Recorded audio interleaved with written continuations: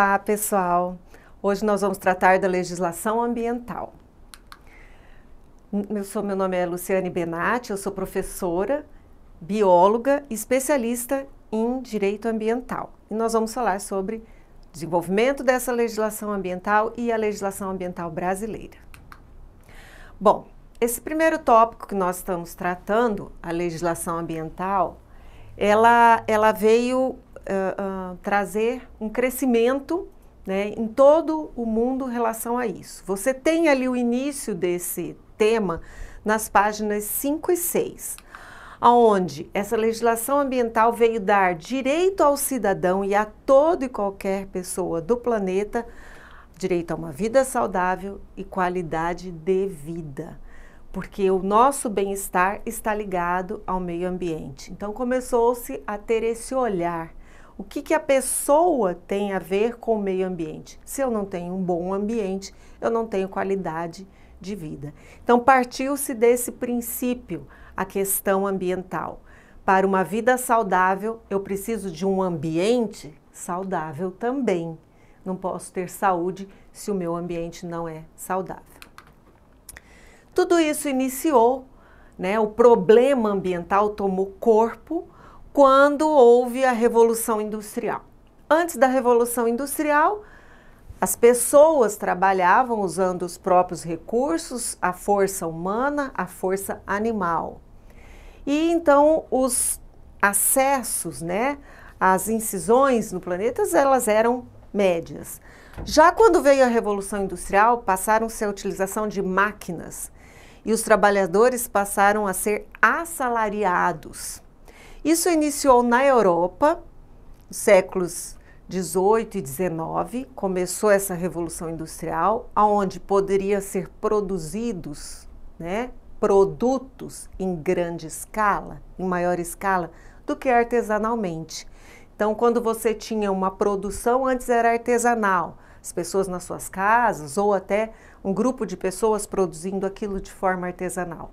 Na Revolução Industrial surgiram as máquinas e nessas máquinas passaram a utilização de combustíveis para as máquinas e a geração de maior número de produtos. Esses produtos, sendo produzidos, atenderiam maior número de pessoas, mas por consequência, a utilização do combustível e da produção em grande escala, houve então os resíduos, a geração de resíduos. Essa imagem ela ilustra justamente nos séculos 19, 18 como ficou o ambiente na Europa, onde eram os grandes centros de produção, né, as fábricas, onde se emitiam, tinha emissão atmosférica, fumaça, principal combustível na época era o próprio carvão, a queima da lenha e do carvão.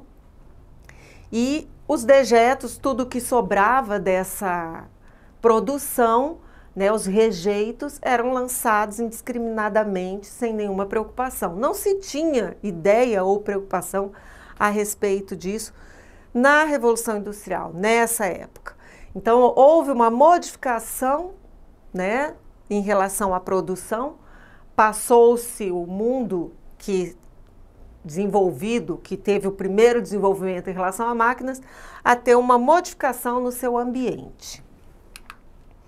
Bom, com a Revolução Industrial, nós tivemos progresso, ter indústria, ter máquinas produzindo, muito bom. Eu tive com isso, houve com isso, a produção em grande escala, atender a grande população sobre isso. Porém, junto veio a poluição. Então, naquela época, progresso está avaliado a poluição. A degradação ambiental foi uma consequência dessa poluição. Outras ilustrações aqui mostrando que as fábricas, né, com as emissões atmosféricas provenientes da queima dos combustíveis utilizados pelas máquinas, máquinas a vapor, máquinas a combustível fóssil, esses, essas emissões, essas queimas com máquinas ainda sem controle, sem estar ainda totalmente afinadas a uma queima completa, emitiam fumaça de todos os tipos com todo tipo de substância para a atmosfera, assim como eram lançados nos rios e também ao solo o rejeito dessa produção. Todos efluentes, substâncias químicas provenientes dessa produção em grande escala eram lançados diretamente ali, assim como os rejeitos. Também o número de pessoas no mesmo ambiente, nas fábricas, elas estavam ali produzindo né, os próprios dejetos que também eram lançados no ambiente sem nenhuma preocupação, esgotamento sanitário. É, então, nós tínhamos como cenário, nessa época da Revolução Industrial, muita poluição e consequente degradação ambiental. A partir desse momento, com essa degradação ambiental, com a, o ambiente se modificando em relação a essa situação, né, em virtude da situação de desenvolvimento, começou a ter a preocupação com o ambiente e então ver o que, que poderia ser feito para melhorar, né, não permitir essa modificação que perceberam ser uma degradação. Começa então as, a preocupação do homem para com o ambiente. Surge então a legislação ambiental. Essa legislação ambiental veio para disciplinar as relações entre o homem e o meio ambiente de forma que houvesse ali uma disciplina no uso, uma disciplina na forma de utilização, convivência, protegendo o meio ambiente e o próprio homem dos efeitos associados a esse uso irracional dos recursos naturais. Porque só a utilização, usar, usar, dispor do meio sem preocupação acaba, com consequência, degradando, piorando a condição né, onde o homem vive. Primeira preocupação, então, quando surge legislação ambiental é essa: disciplinar as relações. Então, isso, essa produção da legislação veio baseada na estrutura das competências para legislar sobre o meio ambiente. Nós temos, no caso, o Brasil, a República Federativa, dividida em, né, sendo ela União, estados e municípios. A União, o que ela legisla? Sobre o que ela legisla? Normas gerais, visando todo o território nacional, todo o ambiente, né? Todo o país. Já o Estado, normas peculiares àquele Estado. O município, normas que atendam aos interesses locais daquele município. Vamos dar exemplo para isso. Quando o Brasil faz uma legislação sobre os rios, ele está pensando em todos os corpos hídricos. Mas quando o estado do Amazonas legisla sobre rios, ele vê a condição dos rios lá da Amazônia. Da mesma forma que no Mato Grosso do Sul, quando nós estamos falando do Pantanal, do Cerrado, nós vamos como Estado, legislar sobre situações específicas da nossa condição no nosso Estado. E o município também, Campo Grande, como que ele legisla? Então, ele vai estabelecer os interesses locais.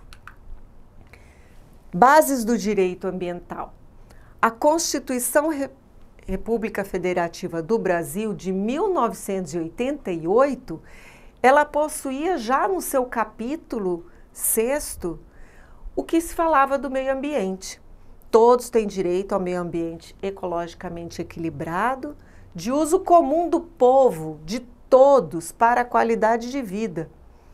E de forma que o poder público deveria defendê-lo e preservá-lo para as futuras gerações. Então, preocupação com o atual e com o futuro essa foi o início, né? Tudo iniciou aí, você vê que a preocupação já havia na própria Constituição. A Política Nacional do Meio Ambiente veio em 81, ela foi constituída importantíssimo, né, marco para a legislação. E a ação civil pública, onde pôde então estabelecer quem era, quem era o poluidor, quem era que iria pagar por isso e Lei dos Crimes Ambientais. Isso você encontra na página 6, essa base do direito legal aqui no Brasil. Eu agradeço a vocês e aguardo até a próxima aula.